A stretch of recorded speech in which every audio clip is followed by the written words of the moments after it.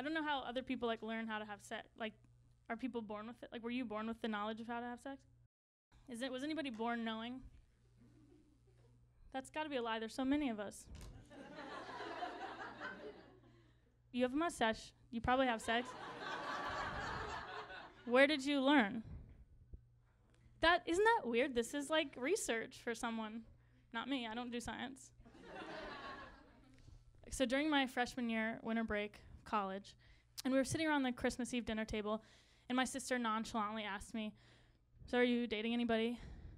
And I could not contain my excitement. And without further need for more opportunity, I yelled, "I'm in love!" and I gushed to my parents, my sister, and my sister's new boyfriend, now ex-boyfriend Andrew, about the love of my life. And my sister was really, really excited for me, and my sister's boyfriend, now ex-boyfriend Andrew, he gave me a look. And from that look, I knew that he knew that I knew little, if not nothing, about lesbian sex.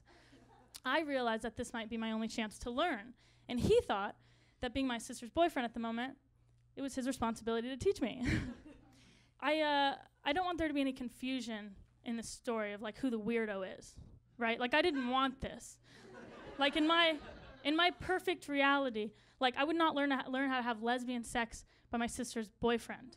So I sat down next to the Christmas tree and Andrew told me how to have sex with a woman, where to go and how to get there, and what to do once I got there, and how often to go back there. and as he told me how to have sex, as he went into explicit detail about what he did, I did everything I could to separate the girl he was doing it to and the fact that that was my sister.